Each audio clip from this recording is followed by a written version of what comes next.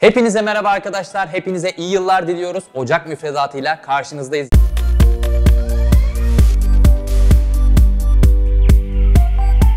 Yanımızda iki tane sıkı takipçimiz var. Hemen onları bir tanıyalım mı en başta? Merhaba, ben Emir Şahin. Ee, İstanbul'da oturuyorum. 8. sınıf öğrencisiyim. LGS'ye hazırlanıyorum. Yoğun bir sınav temposu içindeyim. Merhaba İrem Değirmenci ben 12. sınıf öğrencisiyim. Bahçeli Evler Aydın Doğan İletişim Lisesi'nde okuyorum. Yıl sonunda sınava gireceğim. Bunun için iyi bir tempoyla devam ediyorum. Süper. İkinizin de çok önemli sınavları var. Biz önce bir 5 ve 6. sınıf müfredatlarına bakalım. Sonra konuşmaya başlayalım. Küçük bir hatırlatma. Bu müfredat okullara göre bazı ufak değişiklikler gösterebilir.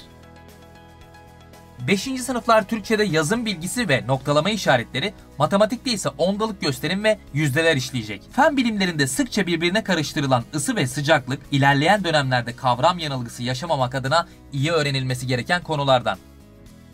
6. sınıfa baktığımızda Türkçe'de parçada anlam, sosyal bilgilerde bilim, teknoloji ve toplum, din kültüründe ise namaz ünitesi var. Matematik dersinde ondalık gösterim çok önemli. Çünkü birçok konuda işlem yaparken ondalık gösterimden yararlanmamız gerekecek. Evet 5 ve 6. sınıf müfredatı böyleydi. Emir 5 ve 6. sınıf nasıl geçmişti?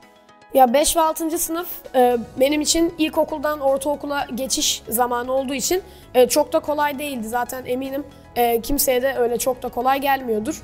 E, düzenli çalışarak 8. sınıf için e, bir temel oluşturmalısınız ve bu 5 ve 6. sınıf önemli bir sene. Çok güzel. Peki 5 ve 6. sınıf arkadaşlarına böyle en önemli tavsiyen ne olur? Yani tavsiyem e, kitap okumaları yönünde olur. E, çünkü kitap okumak e, özellikle sadece Türkçe'de değil aslında bütün derslerde dikkat hataları yapmamızı sıfıra indiriyor. 8. sınıfta buna çok e, zaman bulamıyorsunuz. Çünkü yoğun bir temponun içine giriyorsunuz. Bunun için en iyi seneler 5 ve 6. sınıflar. Peki arkadaşlar canınız hiç ders çalışmak istemediğinde nasıl motive oluyorsunuz? Nasıl ders başına oturabiliyorsunuz? E, Ben YouTube'dan motivasyon e, videoları izleyerek kendimi motive etmeye çalışıyorum. E, Bazen arkadaşlarımla buluşup onlarla birlikte test çözüyorum. Ödevlerimi onlarla birlikte yapıyorum. Bu beni ders başına geri oturmamı sağlıyor. Süper. Peki İrem'e de soralım. Sen neler yapıyorsun? Canın ders çalışmak istemiyor ama çalışman da lazım. Hepimiz yaşıyoruz bunu. Evet. Ne yapıyorsun? Ya bu bir kere benim sorumluluğum. Ya zorundayım bunu yapmak. Öncelikle hani bir yarım saat, bir saat dışarı çıkıp kafamı dağıtıyorum. Eve geri döndüğümde ya da kütüphanede olsun, nereye gidersem ders çalışmak için bu beni daha çok aslında motive ediyor. Arkadaşlarımla vakit geçirmem, müzik dinlemem bir kere. O sakinleştiriyor beni. Tabii herkesin farklı bir yöntemi var. Mesela İrem demek ki bu şekilde kendisini motive ediyor ve derse bu şekilde oturabiliyor. Biz o zaman 7 ve 8. sınıf müfredatını görelim. Sonra senin senene geliyoruz. Onu konuşmaya başlayalım. 7. sınıflar matematik dersinde eşitlik ve denklem, fen bilgisinde saf madde ve karışımlar, İngilizce'de ise televizyon ünitesini işleyecek. Önemli bir nokta. Türkçe'de parçada anlam konusunu iyi kavrarsak LGS'de paragraf sorularını çözmemizde büyük katkı sağlayacak. 8. sınıfa baktığımızda Türkçe'de metin türleri, cümle türleri, matematikte cebirsel ifadeler ve özdeşlikler, inkılap tarihinde ise milli bir destan ya istiklal ya ölüm var. Önemli bir not.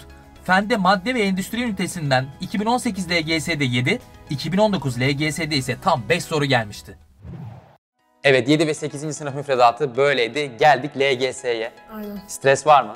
Yani şimdilik ufak ufak var.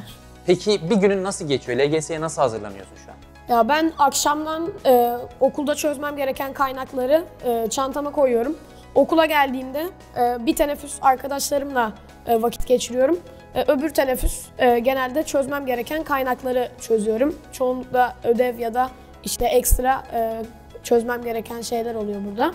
Daha sonra akşam eve geldiğimde e, kalan ödevlerimi ve e, bitirmem gereken öbür e, kaynaklarımı yapıyorum. Bu şekilde. E hafta sonu ne yapıyorsun? Hafta sonu, e, cumartesi günü hafta sonu ödevlerimiz var, onları yapıyorum. E, Pazar günü de tamamen e, kendime ayırıyorum. E, işte dışarı çıkıyorum, arkadaşlarımla geziyorum. İşte bazen e, maçlar oluyor, maçlara gidiyorum. Yani sosyal e, geçiriyorum o günü. Peki Emir denemelerde nasılsın şu anda?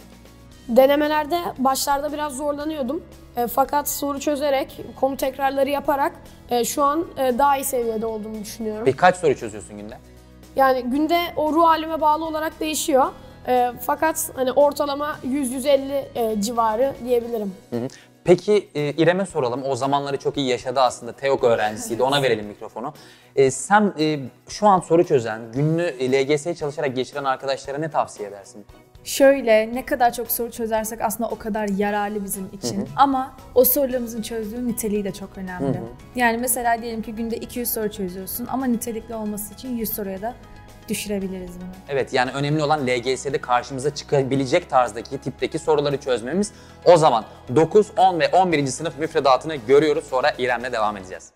Namı diğer 2006 tayfa Ocak ayında Türk Dili ve Edebiyatı'nda masal ve fabl, fizik dersinde hareket ve kuvvet, tarih dersinde ise orta çağda dünya ünitelerini işleyecek. Matematikte denklem ve eşitsizliklere dikkat. Lisenin temelini oluşturacak önemli bir ünite ve ilerleyen yıllarda çokça işimize yarayacak. 10. sınıfa baktığımızda Türk Dili ve Edebiyatı'nda efsane destan farkı, yapay destanın özellikleri, matematikte polinomlar, fizikte basınç kaldırma kuvveti, kimyada homojen heterojen karışımlar var. Biyolojide kalıtım öğrencilerin çok zorlandığı bir konu. Bu konuda iyi öğrenen kesinlikle fark atar. Kimya dersinde ise koligatif özellikleri öğrenmek için çözeltilerde derisim konusunu iyi kavramamız gerek. 11. sınıfta Türk Dili ve Edebiyatı'nda sohbet ve fıkra, matematikte fonksiyonlarda uygulamalar, fizikte ise itme ve çizgisel momentum var. Coğrafya dersinde ise beşeri sistemler ünitesinde Türkiye'deki doğal kaynaklar, ekonomi politikaları, tarım sektörü, hayvancılık gibi birçok konuya giriş yapılacak. Evet lise müfredatını gördük döndüm İrem'e. İrem 9, 10, 11. sınıf arasında sence en zor hangisiydi? Ya şöyle 9. sınıf daha zordu bence çünkü 8. sınıftaydım, ortaokuldaydım. Lise ortamını gördüm bir anda. Bu beni birazcık sarstı. 10. sınıfa geçtiğimde aslında o da birazcık zordu. Çünkü meslek lisesinde okuduğum için meslek dersleri birazcık kafamı karıştırdı. Yeni hocalar eklendi. Bunların anlatım biçimlerine odaklanmam birazcık beni sarstı açıkçası. İrem önümde çok önemli bir sınav var YKS. Evet. Ne hedefliyorsun? Radyo televizyon bölümünden devam etmek istiyorum ve hedefim Marmara Üniversitesi İletişim Fakültesi. Umuyoruz ki kazanırsın Marmara İnşallah. Üniversitesi'ni. Bir de Emir'e soralım. Emir'in LGS hedefi ne? Benim hedefim e, iyi bir derece yapmak. E, elimden geleni değil, elimden gelenin en iyisini yapmak. E, bizim Arda öğretmenimiz bana hep böyle derdi. E, o yüzden elimden gelenin en iyisini yapmaya çalışacağım ben bu sene. Harika. Ben iki arkadaşımıza da hem YKS'de hem LGS'de şimdiden başarılar diliyorum. Son bir şey. Evet, ben bütün öğretmenlerime emekleri için teşekkür ediyorum. E, ve bu sene sınava girecek olan e, gerek üniversite gerek lise sınavına bütün arkadaşlarımıza da başarılar diliyorum. Biz de başarılar diliyoruz. O zaman herkese de iyi seneler diliyoruz. Şubat ayında tekrar görüşmek dileğiyle. Görüşmek Hoşça kalın. üzere.